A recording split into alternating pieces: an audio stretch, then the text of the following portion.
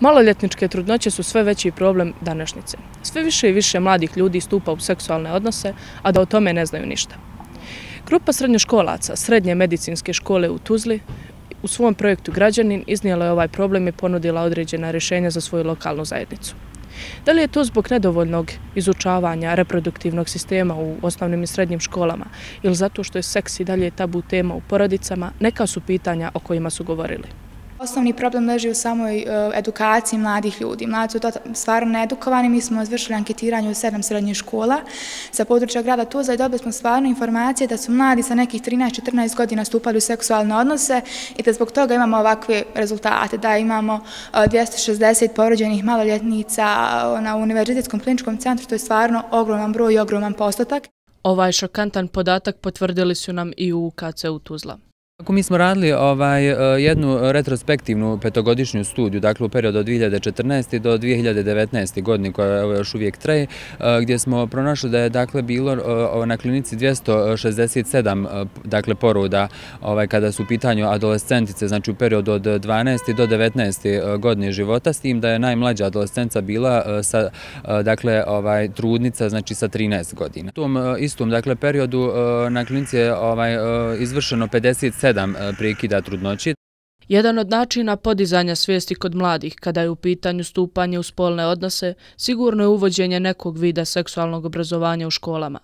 To bi moglo dovesti do smanjenja broja maloljetničkih trudnoća, no zbog patriarhalnog društva u kojem živimo, roditelji su najčešći protivnici ovakvog vida obrazovanja, pogotovo pod ovim nazivom.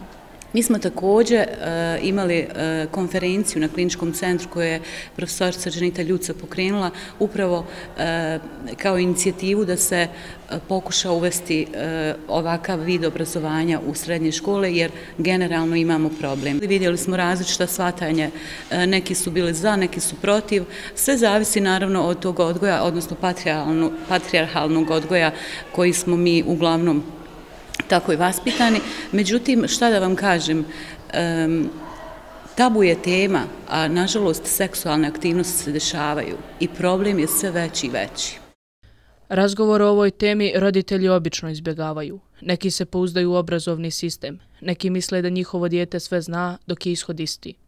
Sve veći broj djece stupa u seksualne odnose, ali nemaju s kim da razgovaraju o tome. Najčešće djeca to ne mogu, ono, ne znaju kako da kažu svojim roditeljima, kako da stupe u te seksualne aktivnosti, e, pa zato imamo ove, znači, učestalost, znači, da djeca, znači, od 12 godina stupe u te seksualne aktivnosti, zato i ova maloletnička trudnoća ne razmišljaju, znači, glavom šta, kad se to djete rodi, onaj, šta uraditi s njim, znači, od koga, znači, da se uzma taj novac, kako da živi s tim djetetom, i ona to je znači vel, vel, vel, mi smo najveći krivci znači što stupamo u te seksualne aktivnosti a, a da se ne raspitamo znači kako to zašto i tako Iako se ova tema nalazi u nastavnom planu i programu, najčešće se zapostavlja.